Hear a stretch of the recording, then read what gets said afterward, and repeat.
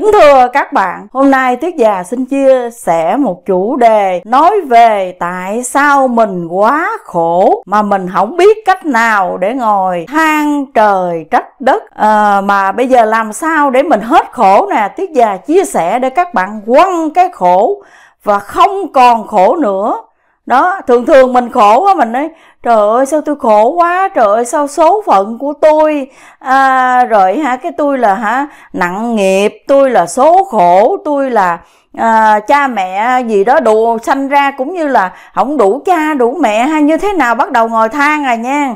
Không có vốn làm ăn. Rồi nói chung là đổi thừa đủ thứ hết luôn cứ đổi thừa, coi như là số phận rồi đổi thừa đủ thứ hết luôn. Mà tại sao mình không tự trách cái bản thân của mình? Cái lý do bản thân của mình tại sao mình khổ? Đó, mình sẽ hả nói cái lý do mà nghèo hoài, khổ hoài. Đó, đúng không? Mình cứ hả trách cái bản thân mình đi. Thì đầu tiên á, tiết già chia sẻ cho các bạn nào khổ nè. Nè, bắt đầu nè nha. Đầu tiên á, là hỏi rằng anh chị sinh sống bằng nghề gì? Thì thường thường thì người chồng trả lời là lao động. Cái này là đa số nha. Thì người vợ không biết làm gì đúng không? Tại vì nó khổ là cái này là nó nghèo khổ cho nên mình phải ha, chia sẻ theo cái kiểu nghèo khổ nha các bạn. Người vợ nói trời ơi bắt còng bắt ốc bắt cua à, bắt tôm bắt tép. À, đó các bạn thấy chưa? Nghề này thì hả khó mà vượt qua cái khổ nha các bạn đó cái nghề này là dứt khoát không vượt qua cái khổ. Ai muốn khổ phải đổi nghề. Tại mới vượt qua cái khổ được. Tại sao mình không hái rau mình trồng rau trồng lúa? Mình làm những cái gì mà đừng có đụng tới những cái con vật này nữa. Đó là tiết già chưa nói về cái vấn đề mà hơi lớn lao hơn chút xíu. Giờ mình nói nhỏ nhỏ mấy tép cộng cua đi ha. Chỉ cần mình đổi nghề là hết khổ thôi. Cái nghề mà gọi như mình làm cái nghề từ cái nghề bắt uh, ếch bắt tôm bắt cua thì nó cũng vất vả. Thì xây qua cái nghề hái rau, trồng rau nó cũng vất vả, ngang nhau. Vậy các bạn đâu có cái nào sướng hơn cái nào mà mình chọn cái nào á, nó tránh được cái sự sát sanh hại vật. Tại vì mình khi mình trồng lúa rồi, mình trồng rau, trồng tất cả những gì là mình có phước. Ở đây trong kinh nói rằng, nguyện nhớ ơn nông canh, nhằn nhọc. Nguyện ơn người lúa thóc giả sai. Có kinh nào mà nói rằng là hả? Nguyện nhớ ơn những người sát sanh hại vật không các bạn? Có kinh nào nói như vậy không? Đơn giản vậy thôi. Thì bây giờ mình thấy là mình hả? Giống như là mình làm những cái việc là chuốt khổ vào tâm của mình, vào thân của mình. Rồi mình ngồi đó mình than trời trách đất là không bao giờ hết khổ khổ mãi, khổ hoài luôn. Thì cái vấn đề này hà là bắt đầu là cái cấp nhỏ nhỏ, bắt đầu cái cấp lên nè. Là bắt đầu cái cấp gì? Bán thịt bán cá bán uh, gì đó bán cái gì mà giống như là thịt động vật đi ha bắt đầu nó lên lên chút xíu. Rồi các bạn thấy sao? Nó vẫn khổ nữa. Nó vẫn khổ nữa thì mình đổi nghề nữa. Mình bán những cái mặt hàng nào tất cả những cái gì mà nó cảm thấy nó tránh được cái sự mà sát sanh hại vật đó các bạn thấy không? Nó có thương chúng sanh đâu mà hết khổ con còng con ếch mà giết nó là nghiệp sát nó đi theo mình hoài luôn làm sao mà hết khổ được? Rồi xong đàng hoàng cái nhiều khi mình nói trời ơi sao tôi khổ quá vậy? Rồi cái mình hỏi dạ kính thưa anh chị làm nghề gì? Cuộc sống ra sao? Cái bắt đầu hả cái người mà à, người ta hả người ta không dám nói ra. Thì người ta nói thì cũng à, mua bán làm ăn này kia nọ vậy đúng không? Không đâu ai dám nói ra cái xong cái bắt đầu hỏi hàng xóm. Coi cái anh chị đó làm nghề gì? Trời ơi, đánh đề mỗi ngày.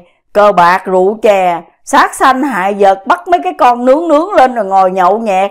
Đó các bạn thấy không? Tại mình dời nên mới theo mình. Mình dời cái khổ này nó đến với mình, mà mình biểu nó hết khổ sao được?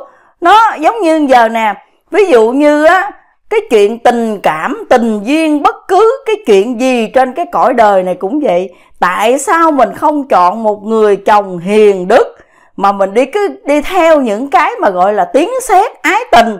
Rồi cái mình nói trời ơi sao tôi khổ quá vậy? Nó đánh tôi hoài nó hành tôi hoài nó hành hạ. Hồi xưa các bạn biết không? À, tuyết già sống trong một cái xóm cũng xóm nhỏ mà có những cái gia đình mà hả nó sai xỉn rồi về nó đánh con nó chạy con nheo nhóc mà nó chạy qua tiết già phải mở cửa rào. Tại vì nhà mình có cái cửa hàng rào bằng à, bằng cái gai chì đó các bạn. Hồi xưa nghèo mà cũng ráng làm được cái gai chì đó. Rồi xong rồi hả à, mấy em nhỏ tội nghiệp lắm. Dì tiếc ơi dì tiếc ơi cứu con dì tiếc ơi cứu con. Mà hả mình hả mở cái chìa khóa ra để cho mấy em chạy qua trong nhà mình mà bắt đầu hả người chồng người ta mở cửa ra người ta kiếm mà tại vì hơn có một cái là nhà mình á là đất rất là rộng đâu có ở trong nhà đứa nào đâu nó chạy tuốt ra phía sau hè hết trơn nó trốn sạch hết trơn luôn. Rồi bà vợ cũng chạy qua hàng xóm luôn. Trời ơi một lần như vậy là người ta buông bỏ người ta đi tu đi người ta ăn chay người ta niệm phật đi người, người ta tránh cái khổ đi cái khổ này có phải tại mình không? Mà mình ngồi nói trời ơi tôi khổ quá. Ừ, tại sao bà tiết già bà ngồi đây mà bà không có than khổ gì hết trơn vậy? Khổ chỗ nào bỏ chỗ đó. Khổ chỗ nào quăng chỗ đó. Nó đức phật dạy cho chúng ta rằng đến mặt trần gian này á, là phải ăn hiền ở lành tu nhân tích đức. Đó để có những cái sự sống trên trần gian đó chứ đức phật không có kêu mình phải hút những cái khổ vô không có cái phật pháp kinh sách nào mà kêu chúng ta rằng hốt khổ vô mà kêu chúng ta rằng phải dứt khổ. Đó các bạn thấy không? Tại mình hốt khổ hoài mà mình than sao? Mình cứ nói ờ, trời ơi sao mà à, nghiệp tôi nặng quá. Nghiệp nặng thì mình giải nghiệp. Đúng không các bạn? Ai trong chúng ta cũng có nghiệp hết nhưng mà mình biết đã hả? Dướng vô nghiệp rồi là mình phải thoát ra. Dướng vô nghiệp là như thế này ví dụ như mình lỡ cờ bạc thì mình hả ngưng lại mình không có cờ bạc nữa. Mình lỡ rượu chè thì mình bỏ. Mình lỡ sát sanh thì coi như mình không sát sanh nữa. Nó mình lỡ lập gia đình với một người mà gọi là giống như là à, người ta không có được à, hiền đức mà người ta hành hạ mình hoài. Mà mình cứ đi theo người ta hoài rồi mình đổi thừa ai? Rồi nhiều khi nó lạ lùng dễ sợ tại mình hay là tại ai? Nó tại sao mình không thách cái bản thân của mình mà mình cứ trách cái người cũng như là thế này thế kia thế gian. À, rồi đời gì? Đời bất công xã hội à, à, không công bằng gì tùm lum hết cái tiết già thấy xã hội rất công bằng. Nó tất cả những gì coi như đời cũng rất công bằng. Không có cái gì mà hả coi như người ta áp cũng như là áp đặt áp đà, à, cũng như là ha, ngược đại với mình hết mà chính mình đi hốt vô bởi vì sao? Tiết già cũng đã từng hốt rồi. Tiếng xét ái tình là nó hốt vô. Nó hốt vô xong cái mình thấy khổ quá, mình phải cứng rắn lên để mình quăng cái khổ nó đi. Đúng không các bạn? Đó, như tiết già này ngồi sống một mình, học phật pháp, tâm linh, học con đường nhân tướng học. Nó vui trong cái sự mà coi như là hả, vui vẻ với cỏ cây, hoa lá, vui vẻ với bằng phật pháp hạnh phúc trong những cái thiên liêng hạnh phúc với hả giống như là cái sự thật chứ không có hạnh phúc mà cái sự giả dối của trần gian. Nếu như mình khổ là mình không được quyền mình nói trách ai hết càng trách nó càng khổ. Không có người cha người mẹ nào mà kêu mình con ơi à, lấy chồng á lựa người nào đừng có hiền đức á lấy. Lựa đó nó ác nhân á lấy đi. Đúng không các bạn? Không có người cha, người mẹ nào mà kêu gì hết á. Hoặc là nói, con ơi, đi cưới vợ á, lựa nhỏ nào mà nó dữ dễ sợ á. Nó ác ờ, nhân sắc đức á, mày cưới nó. Các bạn thấy rõ ràng không?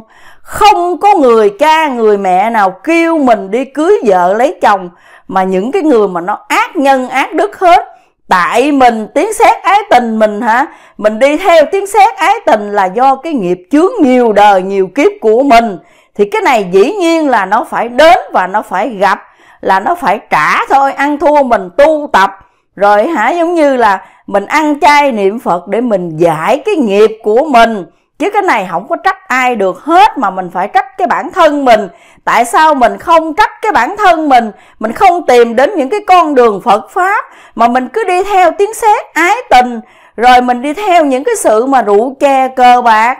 Tất cả những cái xấu xa trên trần gian rồi mình lại than khổ. Tiết già thấy nhiều khi nó tức dễ sợ. Nó nhiều khi mình lâu lâu mình về nước, cái nói, chị tiết ơi, dạo này em khổ quá. Trời ơi, nó tức dễ sợ luôn vậy. Khổ cái gì?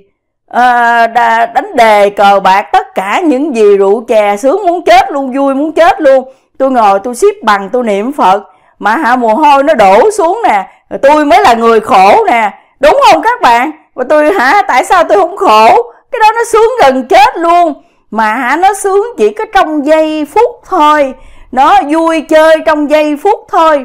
Nó rồi chịu sầu ngàn năm rượu chè be bé ung thư đau gan, sát sanh hại vật là coi như nghiệp chướng đi theo làm cho mình. Quỷ ma nó nhập mình làm những cái chuyện xấu xa đê tiện trên trần gian, cờ bạc là bác thần bần.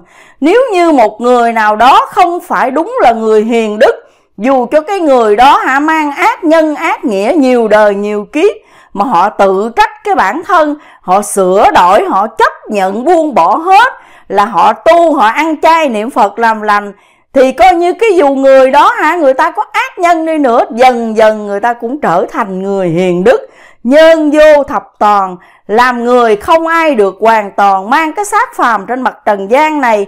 Ai cũng có cái nghiệp chướng và cái nhục thể này á, là coi như nó khiến xui cho mình hả? Khó mà tránh khỏi những cái sự khổ đau trên trần gian là do tất cả là do tự trách cái bản thân mình, chứ không có trách ai được hết luôn. Cái này tiết già chia sẻ để ai có những cái hành động nào mà hạ tự, mà hạ chuốc khổ và lấy bản thân mình thì coi như phải tránh. Giống như như thế này, mình tự nhiên mình đi thích đánh à, đánh lộn, đánh lạo, hoặc là mình làm những cái chuyện gì nó xấu xa, rồi hả tất cả những gì mình đi mình làm không à. Có ai biểu mà mình làm đâu các bạn? Không có một người thầy giáo nào mà dạy học sinh. Kêu học sinh á, nửa sau á, coi như là ra trường là hả chọn tương lai coi như là đi theo những cái chốn mà hả gọi là uh, cờ bạc rượu chè hay là người cha người mẹ kêu mình hả chọn những cái chỗ nào mà giang hồ tất cả những gì các bạn thấy nó rõ ràng không? Không có người nào hết mà nhiều khi á coi như là cứu không có nổi luôn á các bạn. Thế gian này á là như là mình chia sẻ để ai nghe thấy mà đang khổ á, thì coi như là phải tự mà thoát ra. Chứ nếu như mà gọi là cứu không ai cứu nổi, các bạn thấy không? Những người từ thiện, những người mà đã từng mà giống như chia sẻ Phật pháp rồi, nói muốn hả? Giống như gãy lưỡi khô cổ luôn, mà cũng không ai chịu mà buông bỏ hết. Hai chữ buông bỏ nó khó quá, đúng không các bạn? Tiết già xin chia sẻ để các bạn giống như là hả à, niệm Phật hả hàng ngày nè ăn chay nè để hả giúp sức cho các bạn được có một điển lành để các bạn buông bỏ nó dễ hơn. Đó là bây giờ là các bạn thấy dục khổ ra được đúng không? Tự mình ôm vô cái mình than khổ à. Bây giờ người ta có phước có phần người ta lấy chồng đại gia hạnh phúc Ờ, người ta lấy vợ được cũng như là ha ờ, người vợ hiền ngoan còn mình vô phước vô phần thì mình đừng có hốt nữa. Giờ mình ráng tu đi tu khi nào mình đủ phước rồi mình lập gia đình. Nó đâu có muộn đâu các bạn đúng không? Lập gia đình nữa nó cũng bị nữa à. Nó đã nó khổ là nó khổ rồi tại vì mình đang thiếu phước mà đúng không các bạn? Tôi già chia sẻ và xin kính chúc tất cả các bạn ai cũng có thể quăng được chữ khổ hết. Chứ đừng bao giờ ngồi đó than mà hờ, càng than nó càng khổ. Video tiết già chia sẻ đến đây kết thúc. Xin chân thành cảm ơn tất cả các bạn rất nhiều. Hẹn các bạn gặp lại video tiếp theo.